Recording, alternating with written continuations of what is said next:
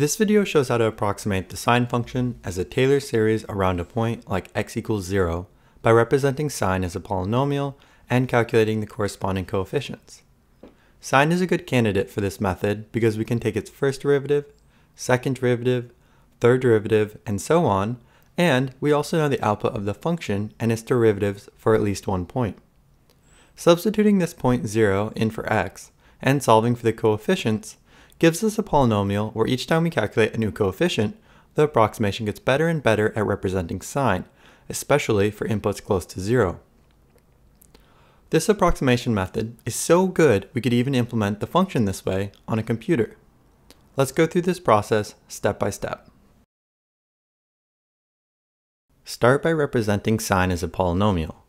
Since we are expanding the approximation around the point x equals 0, substitute 0 into the equation for x.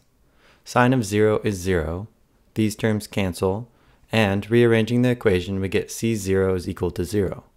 This approximation of sine isn't very good, but it at least makes it so that the approximation returns the correct output as 0. To find the next coefficient, take the derivative of both sides. The derivative of sine is cosine, and the derivative of the polynomial is the result of taking the derivative of each of these expressions. The derivative of a constant like c0 is 0. The derivative of c1x is going to be just c1. From the power rule, the derivative of c2x to the second power is going to be 2 times c2x. Likewise, the derivative of c3x to the third power is going to be 3 times c3x to the second power, and the derivative of c4x to the fourth is going to be 4 times c4x to the third power. Since we are approximating around the point 0, substitute 0 in for x. Cosine of 0 is equal to 1. These terms cancel, and rearranging the equation, we get c1 is equal to 1. Now we have approximated sine as a line that passes through the point 0, 0, and that has a slope of 1. From calculus, this should make sense, because we have set the first derivative of sine and the first derivative of this polynomial equal to each other at the input 0, which makes it so that they have the same slope at that point. To find the next coefficient, take the derivative of both sides to get the second order derivatives. The derivative of cosine is equal to negative sine, and the derivative of the polynomial is the result of applying the power rule to each of these expressions. The exponents hop down and are reduced by 1 degree, so the derivative of c1 is 0, the derivative of 2c2x is 2 times c2. The derivative of 3c3x to the second is 6 times c3x. And the derivative of 4c4x to the third is 12c4x to the second. Since we are approximating around the point 0, substitute 0 in for x. Negative sine of 0 is equal to 0. The higher order terms cancel, and solving for the coefficient, we get c2 is equal to 0. Calculating C2 doesn't improve our existing approximation, but it does tell us that the approximation of sine of x as a line is perhaps better than we thought. In practice, if your inputs are reasonably close to zero, this approximation might be enough to calculate a meaningful result. For our purposes though, let's calculate another coefficient and then look at the process as a whole. Take the derivative of both sides to get the third order derivatives. The derivative of negative sine is negative cosine, the derivative of the polynomial is the result of applying the power rule to each of the expressions. The derivative of 2c2 goes to 0. The derivative of 6c3x is 6 times c3. And the derivative of 12c4x to the second is 24 times c4x. Since we are approximating around the point 0, substitute 0 in for x. Negative cosine of 0 is negative 1. These terms cancel, and dividing both sides by 6 and rearranging the equation, we get c3 is equal to negative 1 divided by 6. Now our polynomial is x minus 1 over 6th x to the third. And if we continue calculating coefficients this way, our approximation will continue to get even better. We could charge ahead, finding the next higher order derivative. The derivative of negative cosine is sine, and the derivative of the polynomial is 24c4. But before we solve for the coefficient, let's take a moment to think about what just happened. We started with our function sine equal to this polynomial, and we found the first, second, third, and now fourth derivative of both sine and the polynomial. Because we are expanding the approximation around the point 0, we substituted 0 in for x. This made it so all these terms cancelled and left us with the higher order derivatives evaluated at 0 the coefficients we're interested in solving for, and these values which are the product of applying the power rule. When we solve for the coefficients, C0 is 0, C1 is 1, C2 is 0, C3 is negative 1 divided by 6, and now C4 is 0. Notice how each coefficient corresponds to one and only one derivative of sine evaluated at 0. And, not only that, these higher order derivatives have started to repeat, creating a four-turn cycle. Can you predict the value of C5? Really, take a moment to pause and ponder. What will the value C5 be? Well, to calculate C5, let's jot down the fifth order derivative of sine, which, because the derivatives are repeating, is cosine of x. We could add the term c5x to the fifth to the polynomial and take subsequent derivatives, like we did in the case of c4 and the other coefficients. But when we substitute 0 in for x, all of these in-between terms will cancel, so instead, we can write the derivative as the fifth derivative of c5x to the fifth. Each time we take the derivative of this expression, the exponent hops down and is reduced by one degree which is the same thing as if we had included c5 from the beginning.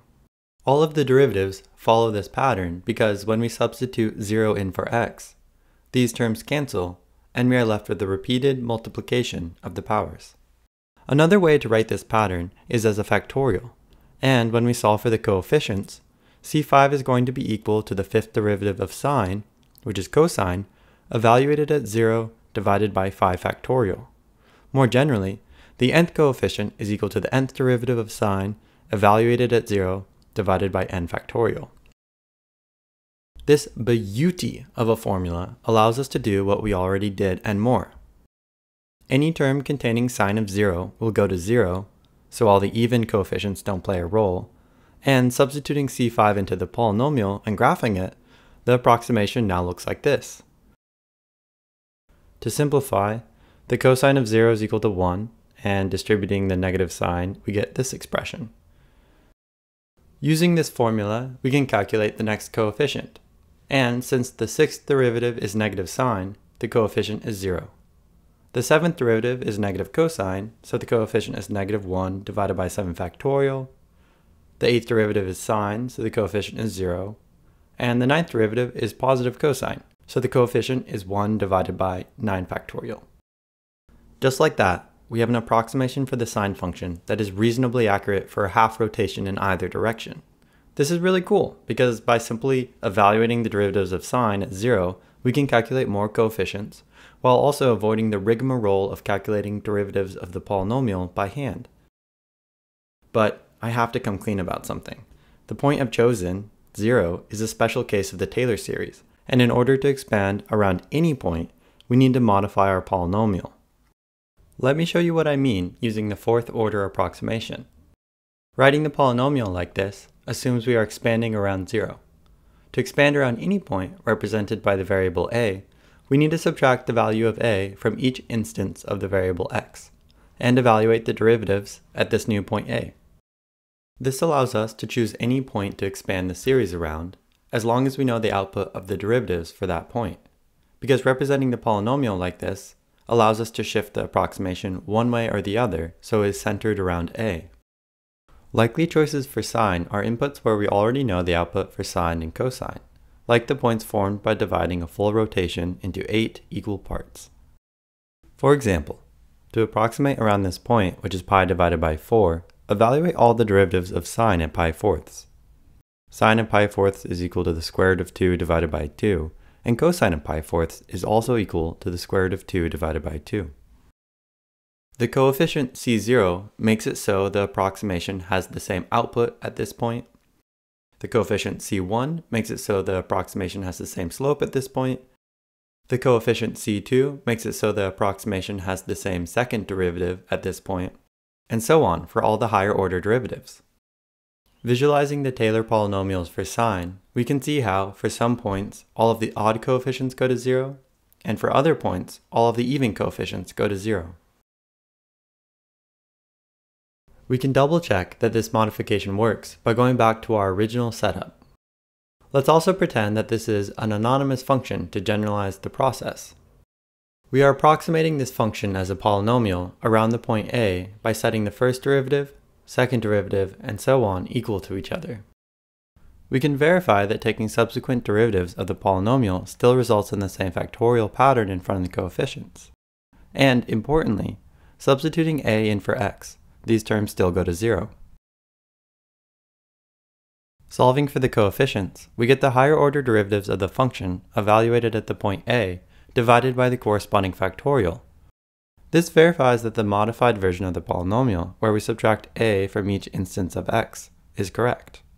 Not only have we verified that this process works for any point, but there's nothing specific about this process to the function sine. As long as we can repeatedly take derivatives of the function and evaluate them at the point a, we can calculate its Taylor series by finding the coefficients of this polynomial. This is how you can calculate the Taylor series of other functions, like cosine and the exponential function. However, I should mention that not all functions converge when approximated using a Taylor series. While the topic of convergence is outside the scope of this video, the Taylor series for sine does converge and is an excellent approximation of the function. In conclusion, to calculate the Taylor series of sine, find the higher order derivatives of the function. Since we are expanding the approximation around the point a, evaluate the derivatives at this point and then divide by the corresponding factorial to calculate the coefficients.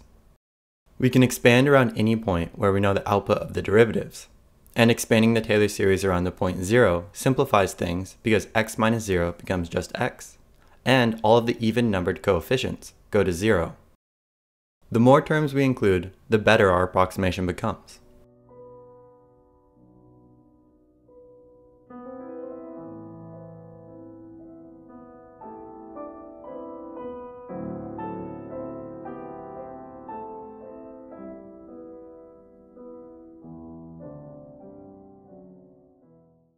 The Taylor series of sine expanded around 0 is x minus x to the third divided by 3 factorial plus x to the fifth divided by 5 factorial minus x to the seventh divided by 7 factorial, and so on for as many terms as you are willing to calculate.